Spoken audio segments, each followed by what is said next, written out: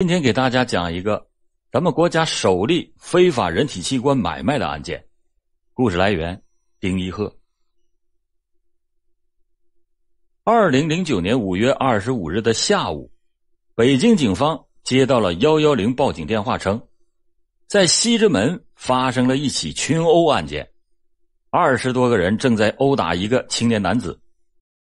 海淀警方立即出警，赶赴西直门案发现场。打人者已经是四散逃走，只剩下满身是血的被害人杨刚躺在地上。警方把十九岁的杨刚紧急送到了医院后，检查发现，杨刚不但全身多处外伤，腰部还有一个长达三十公分的新做的手术刀口，而且体内有感染，随时都有生命危险。这一情况引起了警方的关注。民警立即询问了病床上的杨刚，根据杨刚提供的线索，北京海淀警方很快的就打掉了一个以刘宇为首的非法买卖人体器官的中介团伙。随着这起中国人体器官买卖第一案的浮出水面，一个令人惊恐的人体器官买卖黑市露出了冰山一角。二零零八年十月的一天。在四川省东部华蓥山区邻水县有一个小山村，已经沉默了多日的农村青年刘胜强，一咬牙来到了父亲病床前，对着满脸病容的父亲说：“爹，你放心吧，我会报答你的养育之恩，一定会搞到钱给你治病。”父亲的病需要数万元的治疗费，但是在这个贫穷的农家。一个没有一技之长的刘胜强上哪儿弄这几万块呢？刘胜强说：“爹，你等着，用不了两个月我就拿钱回来，你一定要坚持住啊，一定要等我回来。”刘胜强几乎是咬着牙根说出的这些话。说完，他扭头就离开了家，来到了镇上唯一的一个网吧，熟练的上网搜到了一家收购肝肾的中介公司的联系电话和 QQ 号。和一个 QQ 名字叫做“肝肾中介”的人聊了起来。刘胜强就问：“我在网上看到您的帖子，我需要钱，想卖肝或者是卖肾，你看能卖多少钱？”那个肝肾中介说：“移植百分之六十的肝脏，这样不会影响你的身体功能，大概四五万元左右，食宿等各方面的费用都由我们出。不过呢。”你要确定你的身体是健康的，年龄必须在二十八岁以下，身高在一米七以上，体重必须是一百二十五斤以上。到了医院，我们还要做 CT 和核磁共振来检查，医生认为合格之后才可以做的。刘胜强就急切的问：“那做完手术能不能马上拿到钱？我可是急需要用钱。”那个肝肾中介说：“啊，这一点你就放心。”做手术当天就给钱，我们做了很多年了，全国三级甲等医院都是我们这些中介垄断的，一般人还做不了。我们是很讲信用的。如果你要是感兴趣，我们可以在电话里继续详谈。说完，对方就留下了一个手机号，联系人的名字叫高真。按照这个电话号码，急于拿到钱的刘胜强马上就打了过去。高真问了刘胜强的年龄和身高以后，表示十分满意。经过一番的讨价还价，高真最后口头承诺四万五千元买刘胜强百分之六十的肝脏，让刘胜强等候电话通知。二零零八年十二月的一天，春节就要临近了，如坐针毡的刘胜强终于接到了高真的电话。电话里面说，买主已经找到了，你马上就来北京。就按照咱们上次商定好的价格，刘胜强也没敢告诉父亲，他只告诉家人说啊，自己出去十几天，马上就能拿钱回来给父亲治病。随后，他就惴惴不安的登上了去往北京的火车。到了北京下车之后，如约前来接站的自称是高真的弟弟小李，小李就带着刘胜强来到了北京的一家医院，对他进行了肝功能等身体检查以后。安排刘胜强住进了医院。手术之前，小李反复的叮嘱刘胜强说：“卖肝这件事儿虽然能赚大钱，但是国家不允许，这属于非法交易，所以啊，你只能换个名，跟医院说你是换肝人的亲戚，自愿捐献，这事儿才能成。而且事后还要永远的保守这个秘密，否则法律也会追究到你。一定要记住，你在所有的表格上的签名必须是杨建，和患者是父子关系。”懵懵懂懂的刘胜强听完之后就答应下来。躺在手术台上的刘胜强被推进了手术室，麻药失效以后，刘胜强从疼痛中醒过来，发现自己就像一个粽子一样，腰间缠满了绷带，他只感到肋骨的边缘撕心裂肺的痛，而腹腔里却是空空如也。他清醒的知道，自己百分之六十的肝脏在手术中已经被切走了。移植到了一个他并不认识的人的身体里。一周之后，拆掉绷带的刘胜强才发现，他的身体上留下了一个从心口以下沿着肋骨的边缘直到腰部一条接近四十公分的巨大刀口。当他离开医院、离开北京的时候，他如愿的得到了四万五千块钱。那位山西口音的中年男人杨先生出院的时候。出于感激，来到了病床前，对刘胜强是千恩万谢，还留下了刘胜强的手机号，以保持联络，说将来有机会要报答救命之恩。如果仅仅是身体上增加了一条四十公分的刀口和失去一多半的肝脏，这对刘胜强并没有什么，甚至还有点孝子的悲壮。但是随着阴天下雨，刀口的隐隐作痛。他再次上网去查看相关的注意事项的时候，在和其他肝肾买卖中介 QQ 聊天的时候，突然得到了一个五雷轰顶的消息：像他这样卖肝的市场价格应该是十五万元左右，他这样的活人提供却拿到了全款的三分之一，真正拿到大头的是肝肾中介。而后来在一次检查身体的时候，刘胜强才得知自己的肝脏。被切除的面积不是中介所说的百分之六十，而是达到了百分之七十。这个消息让刘胜强是将信将疑，他又在网上搜索了肝肾移植的 QQ 群，发现这些 QQ 群竟然有数百个。他加到一些群里以后，聊天中他了解到了一些黑市的行情之后，才确认了自己被高真等中介黑了。此时的刘胜强只能是打碎牙，掺着血往自己的肚子里咽。这次卖肝的经历使刘胜强了解了买卖器官的全过程，他开始琢磨这个行业的门道。在 QQ 群里聊天的时候，他发现了中介一边掌握着出卖器官的提供，一边掌握着患者的资源，而真正赚钱的那是中介，而不是出卖器官的提供。这次卖肝的经历。使刘胜强了解了买卖器官的全过程，他开始琢磨这个行业的门道。在 QQ 群里的聊天中，他发现了中介一边掌握着出卖器官的供体，一边掌握着患者的资源，而真正赚钱的是中介，而不是出卖器官的供体。用百分之六十的肝脏换来了一条致富经验，刘胜强的眼中流露出了一丝不易察觉的笑容。原来就在刘胜强卖掉肝脏之后不久，就有一位患者通过杨先生提供的方式，主动的联系刘胜强，想通过刘胜强寻找肝源。怀着好奇心的刘胜强亲自来到医院核实了病人的情况以后，开始通过网络寻找供体。然而，那位需要换肝的病人突然因为病情恶化，在刘胜强还没有联系到供体之前。就死亡了。这笔生意虽然没有做成，却坚定了刘胜强做器官买卖中介生意的这个想法。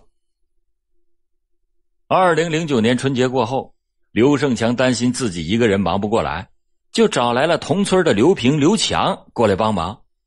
两个人就跟随着刘胜强来到了北京，在海淀区租了一处房子住了下来。刘胜强让他们分别化名为黄波和文杰。刘胜强在网上加入了很多器官买卖中介的 QQ 群，自己化名刘宇，也建立了一个器官买卖的 QQ 群。他一边发布卖器官的信息寻找买家，一边和很多专门供养供体的中介人取得联系，寻找货源。此后，刘胜强就以刘宇的名义成为了器官的黑中介。刘宇的第一笔生意跟上次他移植给山西人杨先生密切相关。二零零九年三月初，正在刘宇苦于找不到生意的时候，他突然接到了一个自称患者亲属的人打来的电话。电话里边说：“你有没有肝源？我的亲戚患肝癌，需要肝移植，病人现在正在北京住院。”刘宇感到非常的意外，然后就问。你怎么知道我电话的？我从来也没对外公布过我的电话。对方立即就打消了刘宇的警惕性，说：“是上次买你肝脏的杨先生给我你的号码，他现在很健康，而且我们是朋友，所以才找你帮忙。我们知道您是个救星，你一定要想办法救人呐！我还按上次杨先生给你的价格，还是十四万，好不好？”刘宇终于确切的知道了自己那百分之七十肝脏的真实价格了，他忍住了怒火，详细的询问了对方的相关情况，需要什么样的供体之后，告诉对方等他电话，一找到合适的供体就立即联系他们。随后，刘宇开始在 QQ 群里发信息寻找肝源，很快的一个自称在甘肃省兰州有供体的姓杨的中介联系了刘宇。并且提供了供体的资料，经过了一番的讨价还价，刘宇答应给这家中介六万五千元买百分之六十的肝脏。两天之后，刘宇安排患者家属和姓杨的中介带来的供体见面，在供体身体检查合格之后，刘宇和患者家属安排供体住了院，不久呢就进行了器官移植手术。这第一笔生意下来，病人家属给了刘宇十四万元，他给了姓杨的中介六万五千元，在扣除供体住院期间调养的费用等各项开支，刘宇纯赚了两万多元。有了第一笔生意，增加了刘宇对做器官中介的信心，也增加了他对网络的依赖。刘宇加入了很多的肝肾移植的 QQ 群，在里边。他又认识了在河南淇县专养供体的阿阳。在聊天中，刘宇才得知，二十四岁的阿阳跟自己的经历非常的相似。他也是因为生活所迫，在二零零八年的九月份卖掉了自己的一个肾，也是在卖肾的过程中发现了器官买卖的巨额暴利，才干起了这一行。不过和刘宇不同的是，阿阳不做中介。而是专门负责养供体，然后通过中介出卖供体获利。于是，两个同病相怜的青年人相见恨晚，两个人达成了一致，由刘宇联系买家，阿阳提供供体，赚钱之后，两个人按照行规分成。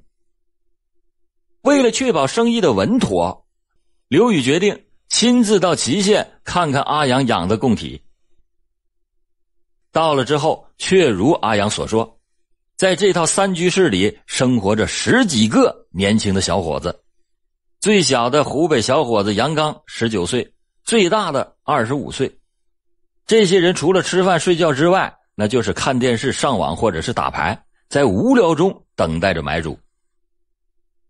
刘宇就有些不解的问：“你怎么选择这么一个偏僻的地方养供体呢？为什么不在北京养呢？”那样也方便一些呀。阿阳说：“北京的生活太贵，我很早前就在这里生活过一段时间，各方面比较熟悉。再说这里的生活水平比较低，养供体更省些钱。而买卖器官主要是集中在大城市，祁县是位于北京和郑州之间，离两个城市都不远。阿阳呢，就道出了选择在祁县养供体的初衷。”刘宇又叮嘱阿阳说：“看到你的情况，我就放心了。咱们从现在开始紧密的合作。不过呢，我要把话先说在前面。下一步每来一个新人，你都要首先带着他们去医院做好检查，最起码得要查明血型、身高、体重这些基本情况。有传染病的和肝肾功能不好的绝对不能要，不合格的他们立马滚蛋。咱们不能养吃闲饭的。再就是 A B 血型的人一般不要，因为 A B 血型的患者比较稀少，养了也是白养。阿阳拍着胸脯说：“咱们都是过来人，我知道怎么做，你就放心吧。”那好，那咱们两个人一起养，赚钱对半分，就这么定了啊！刘宇说完，拍下五千元，兴高采烈的回到了北京。回到了北京以后，刘宇觉得把钱交给阿阳有些不妥。毕竟自己和阿阳只有一面之缘，一旦阿阳跟自己玩起心眼儿，把供体卖给别人独吞，或者是带着供体跑了怎么办？于是他又掏出了一千元，交给了黄渤，说：“你去祁县帮忙看着这些人，顺便照顾下供体的生活。要是阿阳跑了，咱们的钱那可就打了水漂啊！”二零零九年四月底。黄渤赶到了祁县，负责供体的饮食起居，同时也作为刘宇的眼线，注视着阿阳和供体的动向。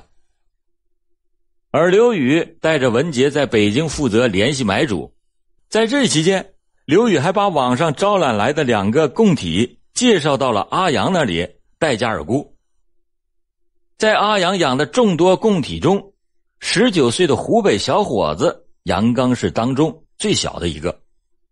正是他后来直接导致了刘宇、阿阳等人的落网，由此也就引爆了中国器官非法买卖的第一案。在所有的器官买卖的利益链条上，处于最低端的就是供体，而令人难以置信的是，他们出卖身体器官竟然完全都是自愿。原因呢也很简单，那就是他们需要钱。十九岁的湖北小伙子杨刚。起初也只是想赚点钱，然而他身无一技之长，又没有什么文化，更没有想到任何一个赚钱的正道。游手好闲的他，经常是上网聊天、打游戏。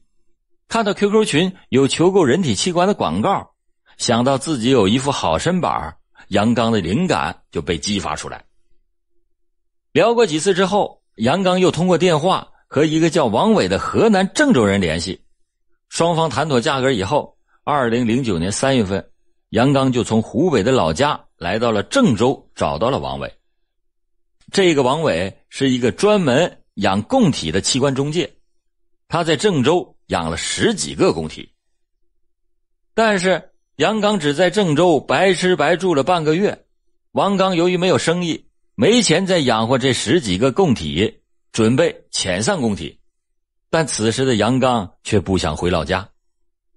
王伟看到杨刚是真心想卖，于是就把杨刚介绍给了网络上认识的阿阳。二零零九年三月底，杨刚和另一个供体从郑州来到了祁县，被阿阳养起来，等待出卖的机会。而在北京的刘宇，由于有了阿阳在河南淇县这个器官补给基地。就不再是坐等买主上门，而是开始主动的出击寻找买家。只要是一有时间，他就往各大医院的肝肾病房里边跑。二零零九年四月底，刘宇终于在海淀区一家著名的医院联系上了患者谢先生。谢先生肝上长了一个肿瘤，按照医院的治疗方案，只有换肝才能保住性命。但是医院现在是肝源不足。正在寻求救命稻草的谢先生，一听刘宇能帮他找到肝源，立即就像抓住了救命恩人一样，答应了刘宇提出的全部条件，同时也愿意支付给刘宇十五万元。随即，刘宇就打电话给阿阳说：“你手头上有没有马上就能做的 A 型血的供体？有的话，马上送到北京来。”阿阳立刻就想到了杨刚，因为杨刚。正是 A 型血，于是阿阳对杨刚说：“北京现在有个要买你肝的，你做不做？”这急于拿到钱的杨刚连价钱都没谈，立马就同意了。杨刚来到北京之后，被文杰从西站接到了西四环附近的一个地下室里，等待着刘宇的安排。二零零九年五月四日，五一小长假刚一结束，在刘宇的安排下，谢先生的家属开具了一份亲属关系证明，杨刚呢就冒充谢先生的侄子谢小明住进了这家著名的医院，而刘宇则在杨刚的身份证复印件上做了手脚，把杨刚的名字改名为谢小明。因为当时医院只是需要患者和供体的身份证复印件，完成了以上两步，供体就可以冒充亲属，填写完成医院的一系列表格进行器官移植了。深知器官移植潜规则的刘宇明白，医院呢大多只做形式上的审查，而不深究供体和患者的关系，这就使得中介有了空子可钻。如果说刘宇在第一次出卖自己肝脏的时候，还是一个单纯孝顺的天使，那么在此后几次的中介过程中，他慢慢的就变成了一个内心冰冷的魔鬼。面对患者的求助，他只会冷冰冰的谈价钱，而那些出卖器官的供体，他更是毫不留情的压低着价格。在做完肝脏移植手术以后。刘宇安排黄波到医院找到杨刚，说：“老板说给你三万五千块钱，现在呢都是这个价，等你出院的时候马上给你，你就先安心养病吧。”杨刚一听，这比以前听说的行规里面说的四万元整整少了五千元，但是呢没办法，他还是答应下来，毕竟自己在这之前没有跟刘宇敲定过价钱。二零零九年五月二十二日，经过调养之后的杨刚带着将近四十公分的刀口就出院了。当天，刘宇却只给了杨刚两万五千元。杨刚这一下可急了，他说：“我知道一个肝是四万，你们给三万五本来就少给了，还有一万为什么不给我呀？你赶紧给我钱，我这可是拿命换来的钱呢。”没想到刘宇这脸马上就阴沉下来，说：“你吵什么吵？我说不给你了吗？我现在手头紧，剩下的一万块钱明天给你，你等我电话吧。”说完，扬长而去。但是刘宇的承诺在第二天并没有兑现，杨刚打了好多次电话要剩下的那一万元，最后刘宇竟然火冒三丈的吼道：“我就给你这么多了，不行，不行，你就去死吧！”听到这话，在北京举目无亲的杨刚当时就傻在那里了。他刚想要去公安机关报警，但是转念一想，自己卖肝本身就不对，弄不好也把自己给抓进去了。但是这口气是无论如何也忍不下去的。此时，杨刚一下子想到了从小就为自己撑腰的表哥，他哭着打电话给表哥说。哥呀，我在北京做生意，被人黑了一万块钱，你赶紧来北京吧，不然不然我就不活了。正在四处寻找杨刚下落的表哥，一听杨刚在北京被人黑了，顿时是心急如焚。二零零九年五月二十五日，表哥就带着四个膀大腰圆的朋友从湖北来到了北京。此时，表哥才知道杨刚被黑的钱竟然是卖肝的钱。他顿时是五雷轰顶，表哥当即就带着杨刚一行五人在西直门一带找到了刘宇，向刘宇索要医院的检查单和手术证明，但是刘宇一口咬定什么东西也没有。最后，杨刚和表哥威胁着刘宇说：“买卖器官可是犯法的，这一点你比我们更清楚。你要是不给钱，我们现在就报警。”刘宇一听杨刚要报警。于是他就答应这事儿好商量。最后呢，经过讨价还价，双方商量，刘宇支付十万元的赔偿费，杨刚就不报警。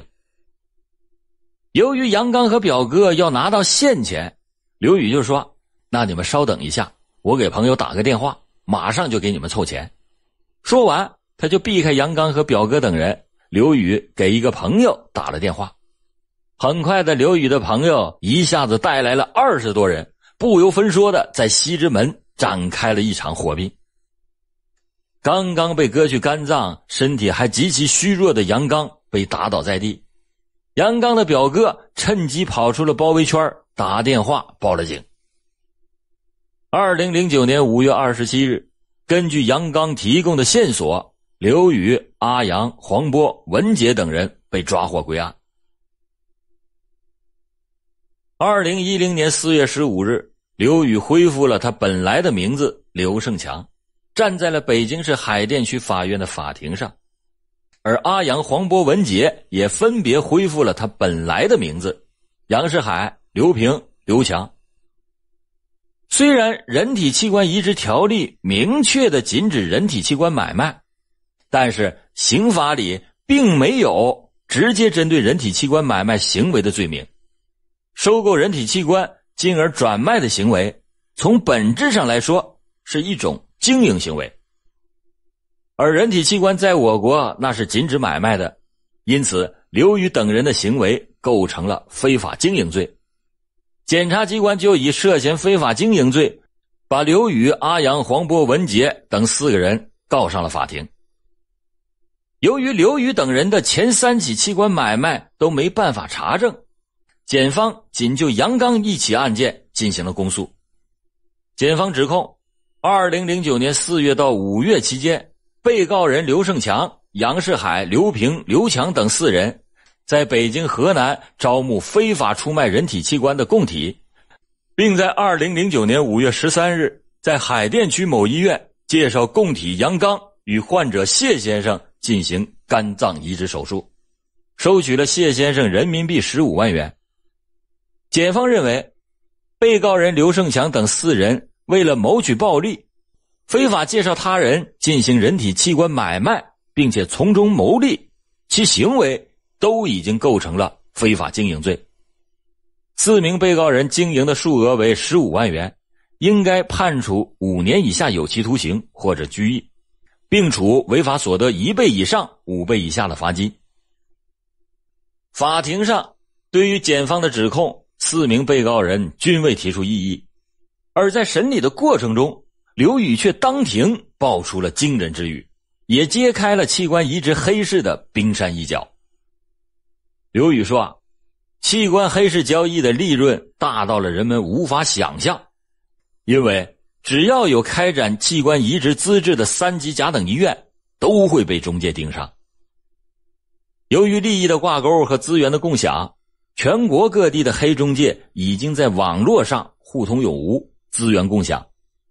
可以说，哪里有需求，哪就有市场。在这个庞大的市场中，刘宇坚持的认为。”自己那就是一条小鱼，他说：“有的职业中介做的是港澳台的患者，更厉害的中介那是做国外的患者，一条龙服务，全套假程序都可以做下来。说句实在话，和职业的中介相比，我呀还差了十万八千里。由于我的入门时间短，火候还不够，落网呢，哎，其实有些冤。如果我要是有职业中介那么专业的话。”那就没有这么轻易的就进到看守所了。根据卫生部门的统计显示，每年全国一百五十万名等待器官移植的患者当中，只有大概一万人能找到器官源获得移植。在一比一百五十严重失衡的全国各地的器官供需的比例下，人体器官移植的市场乱象环生。器官买卖或者是变相交易的违法行为时有发生，那么如何的规范器官移植市场，就成了摆在卫生监管部门面前的一道非常现实的难题。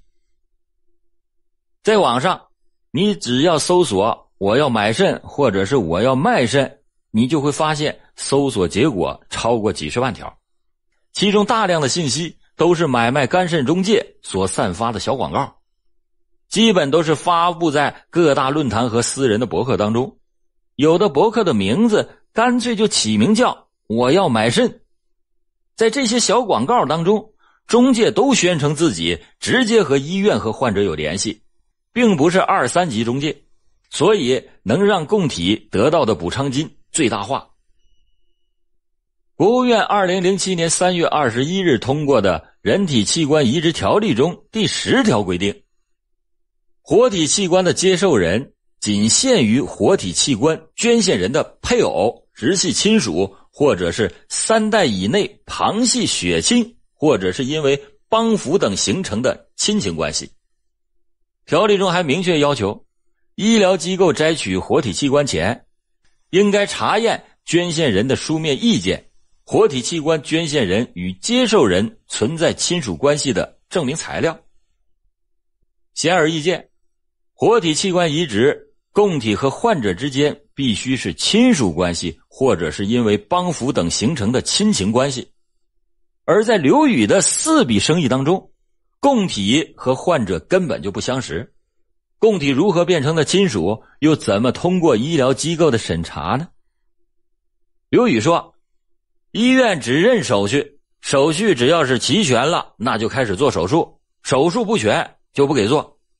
一般是先由患者家属到户籍的所在地派出所开一个证明，证明的内容是供体和患者之间的亲属关系，然后在身份证上再做手脚。”或者是在身份证复印件上想办法。医院只需要患者和供体的身份证复印件，完成了以上两步，供体就可以冒充亲属填写完成医院的一系列表格。医院大多也只是做形式上的审查，这就有了空子可钻。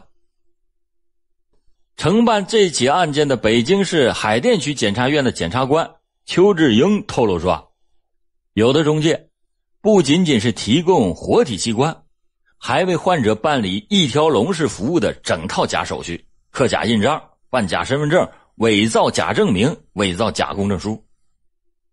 办案人员又介绍，对于假身份证、假证明，医院并没有能力辨别真假。病人家属因为是急于做手术，往往是自愿为供体购买假身份证，办理假的派出所证明。案发以后。病人家属往往因为供体的救命作用，不愿意配合执法部门的调查，导致了此类的案件取证非常的艰难。买卖活体器官不但危害到供体的生命权和健康权，犯罪过程中一系列的造假手续对社会秩序也有很大的危害。公平的移植器官是每一个患者最迫切的愿望。一定要铲除黑市器官买卖这颗毒瘤，不要让这样的悲剧再次的重演。因为无论如何，器官买卖都是有悖人伦、违背法律的丑恶现象，必须要严厉的查处、严厉的打击。